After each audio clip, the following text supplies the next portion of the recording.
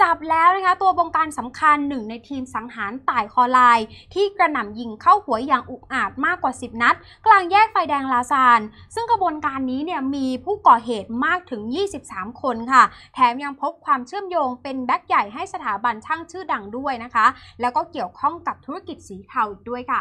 ช่วงเช้าวันที่ 3 กรกฎาคมนะคะสืบนครบาลระดมกำลังมากกว่าร้อยนายนะคะ เปิดปฏิบัติการที่มีชื่อว่าโค่นอิทธิพลเถื่อนด่านสำโรง เพื่อล่าตัวทีมสังหารต่ายคอลายที่ถูกยิงเข้าที่หัว ตอนนั่งในรถฟอร์จูเนอร์สีดำกลางแยกไฟแดงลาซานตัดถนนแบริ่ง ก่อนทนพิษบาดแผลไม่ไหวไปเสียชีวิตที่โรงพยาบาล เหตุเกิดช่วงประมาณตีสองกว่านะคะ เมื่อวันที่ 29 มิถุนายนที่ผ่านมาค่ะ ค่ะ ซึ่งต้องบอกว่าปฏิบัติการนี้นะคะ เจ้าหน้าที่เนี่ยก็ปูพรมค้นหาทั้งหมด 5 จุด ที่สืบมาว่าเป็นเซฟเฮาส์ของทีมสังหารต่ายคอลายค่ะ ซึ่งก็ครอบคลุมในพื้นที่บางนา ไปจนถึงสำโรงเหนือเมืองสมุทรปราการนะคะ ซึ่งจากการตรวจค้นทั้งหมด 5 จุดค่ะ เจ้าหน้าที่เนี่ยก็สามารถที่จะยึดปืนทั้งหมด 38 กระบอก กระสุนอีกกว่า 800 นัดเลยค่ะ ซึ่งตัวการสำคัญในคดีนี้เนี่ยมีหัวโจก 2 คนด้วยกันค่ะ นั่นก็คือเล็กอุดมโชค แล้วก็ดนัยบางขาที่โดนหมายจับข้อหาฆ่าโดยไตร่ตรองเอาไว้ก่อน รวมทั้งซ่องโจรนะคะ แล้วก็พกพาอาวุธปืนอีกหลายข้อหาเลยค่ะ ทั้งนี้นะคะจากการตรวจสอบกล้องวงจรปิดค่ะ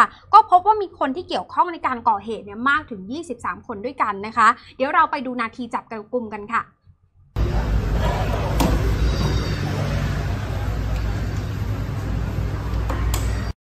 พกตัวเราด้วยอะไรด้วยนะอันนี้เจ้าหน้าที่เขาคนแล้วก็พี่เขาคนกันใช่บ้านหลังนี้เนาะใช่เจ้าหน้าที่นี่นะ ก็เดี๋ยว ให้เซ็นหลังใหม่ให้ปูเอกก็รองเท้าอยู่ไหน ประวัติแก๊งนี้นะคะ ไม่ธรรมดาเลยค่ะ เป็นแก๊งขายใหญ่ระแวกวัดด่านสำโรงค่ะ เคยทุกเคยร่วมกันก่อคดีพยายามฆ่าทำร้ายร่างกาย และปล่อยเงินกู้ในพื้นที่สมุทรปราการก่อเหตุไม่ต่ำกว่า 10 คดีในช่วงแค่ 1 ปีที่ผ่านมานะคะค่ะและมีเบาะแสว่าเป็นแก๊งที่อยู่เบื้องหลัง หรือว่าหัวเชื้อให้กับแก๊งช่างกลชื่อดังย่านกรุงเทพค่ะอืมคุณผู้ชมคะตอนที่สืบนครบาลเนี่ยเขาไล่กล้องวงจรปิดนะคะ จากเอ่อไปจนถึงบริเวณซอยแบริ่งสำโรงเหนือค่ะเมืองสมุทรปราการเขาก็สังเกตนะคะว่าชาวบ้านในละแวกนั้นเนี่ยมีอาการหวาดกลัวแบบผิดปกติเลยค่ะ ไม่กล้าให้ตำรวจเนี่ยดูกล้องวงจรปิดที่ติดตามบ้านของตัวเอง พอสอบถามจนได้ข้อมูลนะคะ ชาวบ้านเนี่ยก็เล่าให้ฟังอะค่ะว่า มันมีทนายความของแก๊งนี้เนี่ยเคยข่มขู่เอาไว้นะคะว่าถ้าหากว่าให้ตำรวจดูกล้องวงจรปิดเนี่ยจะยกพวกมาเผาบ้านให้วอดเลยอะค่ะ ส่วนสาเหตุที่คนร้ายแก๊งนี้เนี่ยก่อเหตุซ้ำแล้วซ้ำเล่า แต่ว่ายังคงลอยหน้าลอยตาในสังคมได้เนี่ยเพราะว่ามีทนายความค่ะที่มีฝีมือคอยตามเช็ดตามล้างเกี่ยวกับคดีให้แก๊งนี้เสมอค่ะ สืบนครบาลก็เลยต้องจัดหนักนะคะ จัดชุดใหญ่พยักร้ายเทพนครนะคะร่วมกับสอนอบางนารวมแล้วกว่าร้อยนาย บุกปราบอิทธิพลเถื่อนด่านสำโรงในครั้งนี้นะคะ ขยายผลจนรู้ว่าหัวหน้าแก๊งเนี่ยมีชื่อว่าเพชรและไปอืมเป็นอดีตนักศึกษาช่างกลชื่อดังย่านบรรทัดทอง และยังพัวพันกับธุรกิจสีเทาต่างๆด้วยค่ะอืมทีนี้ย้อนไปคืนวันเกิดเหตุค่ะ ก็คือคืนวันที่ 28 เข้า 29 มิถุนายนนะคะ ซึ่งต้องบอกว่า การก่อเหตุในครั้งนี้เนี่ยมันเกิดจากที่ต่ายคอไลน์กับเพื่อนๆนะคะ ไปนั่งดื่มกินที่ร้านเหล้าแห่งหนึ่งแถวถนนแบริ่งตัดใหม่ ตั้งแต่ช่วงค่ำของวันที่ 28 มิถุนายน จนกระทั่งช่วงช่วงเที่ยงคืนเข้าสู่วันที่ 29 มิถุนายนค่ะ ได้มีกลุ่มคนร้ายเนี่ยขี่มอเตอร์ไซค์นะคะ ยกทัพกันมา 12 คัน รวม 23 คนค่ะ ขี่มาวนเวียนแถวร้านเหล้าเนี่ยเหมือนเป็นการยั่วยุให้กลุ่มของต่ายคอลายเนี่ย โมโหขึ้นมาค่ะ ทีนี้เนี่ยพอกลุ่มต่ายคอลายกับเพื่อนๆค่ะเอ่อโดยกล้องวงจรปิดเนี่ยก็จะเห็นนะคะว่าตัวกลุ่มคนร้ายเนี่ยขี่วนแถวร้านเนี่ยประมาณ 4 รอบด้วยกันค่ะ จนสุดท้ายนายเฮิร์ตเพื่อนของต่ายคอลายเนี่ยทนไม่ไหวอะค่ะ รับคำท้าขับรถฟอร์จูเนอร์เนี่ยออกตามล่าคนร้ายกลุ่มนี้ โดยมีต่ายคอลายเนี่ยนั่งข้างคนขับไปด้วย พอขับไล่ตามไปจนถึงแยกลาซานแยกนี้ค่ะคุณผู้ชม คนร้ายสองคนเนี่ยก็ระดมยิงใส่รถฟอร์จูเนอร์ของนายเฮิร์ตเลยนะคะแต่ว่าความโชคร้ายเนี่ยไปตกอยู่ที่นายต่ายคอลายค่ะ เพราะว่ากระสุนเนี่ยทะลุกระจกค่ะ แล้วก็เข้าหัวนายต่ายคอลายจนเสียชีวิตที่โรงพยาบาลค่ะ เนี่ยค่ะคุณผู้ชมภาพนี้แล้วค่ะ อืม เนี่ยกลุ่มคนร้ายสองคนนี้นะคะ มาถึงแล้วแล้วก็ยิง แล้วก็ขับออกไปค่ะ คุณผู้ชม ตามล่ากันไปต่อนะคะ อุกอาจมากเลยนะคะเออ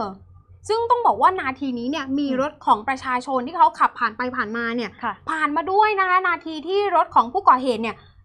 จอดแล้วก็ยิงใช่รถของต่ายคอไลน์เลยอะ่ะ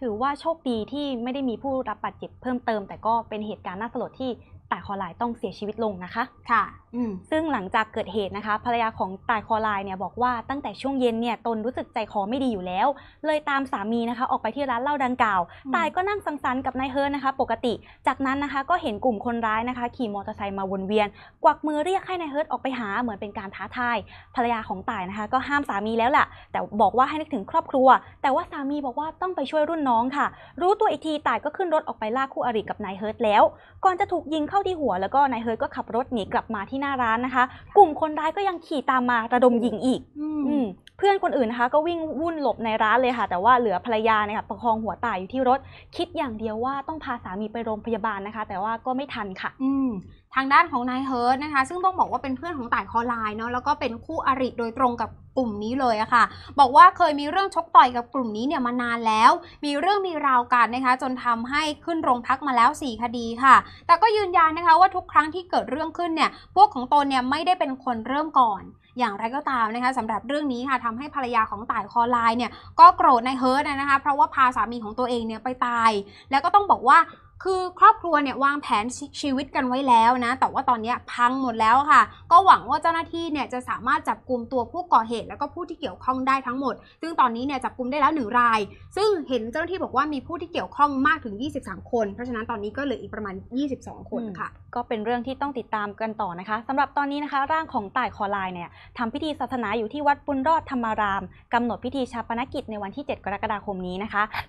การจากไปของต่ายสร้างความเสียใจให้กับครอบครัวและเพื่อนสนิทอย่างมากค่ะค่ะ ซึ่งเรื่องนี้นะคะก็มีเพื่อนคนหนึ่งของต่ายนะคะ ได้ออกมาให้สัมภาษณ์ออกมาเปิดเผยว่าจริงๆอะค่ะมันมีลางบอกเหตุมาก่อนหน้านี้แล้วอืมเพราะว่าเขานะคะได้แชทคุยกับต่าย แล้วอยู่ดีๆต่ายก็แชทมาบอกว่ารอไปงานศพกูกูอยู่อีกไม่นานพูดอืมจริง ๆ เพื่อน เพื่อนก็ตกใจและต่อว่าไปว่าทำไมต้องพูดแบบนั้น แล้วก็บอกให้ต่ายใจเย็นๆ มีอะไรปรึกษากันได้ แชทนี้คุยกันตั้งแต่ช่วงต้นเดือนมิถุนายนที่ผ่านมานะคะ สุดท้ายแล้วก็เกิดเหตุร้ายขึ้นจริง ๆ ค่ะอ่าก็ต้องบอกว่าก็ต้องขอฝากไปทางเจ้าหน้าที่ตำรวจด้วยนะคะ ให้เร่งจับกลุ่มตัวผู้ที่เกี่ยวข้องแล้วก็ผู้ก่อเหตุให้ได้ทั้งหมดเนาะค่ะเพราะว่าถือว่าอุกอาจมากๆ อย่างที่บอกว่าภาพจากกล้องวงจรปิดเนี่ยเราก็จะเห็นว่าคือตัวแก๊งที่ก่อเหตุเนี่ยคือ